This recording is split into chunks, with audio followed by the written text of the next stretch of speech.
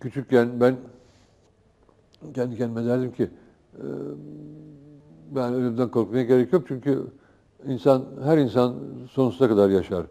Nasıl? Çünkü öldüğünü fark etmez. Ancak yaşadığını bilir. Bir gün ölecek gerçi ama öldükten sonra onu, onu anlamayacak. Dolayısıyla o onun bakımından yaşam sonsuzdur. Ve bu beni tatmin etmişti. Ama yaş ilerleyince bu tatmin etmiyor çünkü e, evet e, fark etmeyeceğim ama öldüm. ve ben de dünyayı anlamayacağım. Ve e, yani o e, hoş bir şey değil. E, Düşününce insanın ter basıyor.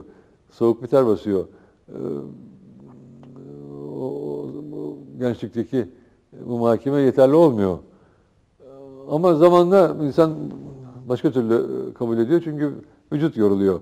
Yoruluyorsunuz, e, ölmek de dinlenmektir diyorsunuz. E ne yapalım yani dinleniriz işte. Dinlenmek böyle.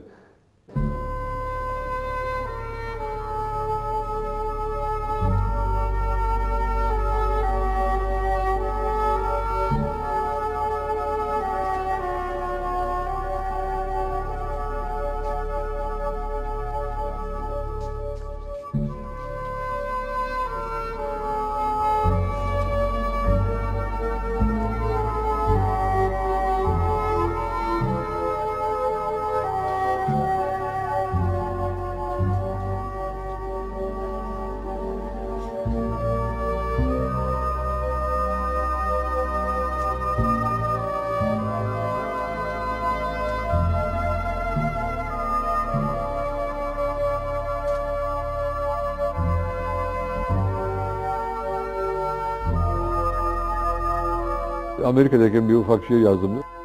Anka kuşu diye bir şiirdi. Güzelsin biliyorum. Yerde gökte eşin yoktur. Yoktur eşin. Ama benim de gençliğim var. O da bir defa gitti mi geri gelmez. Söyle bana anka kuşu değer misin? Bir ömrü adamaya değer misin?''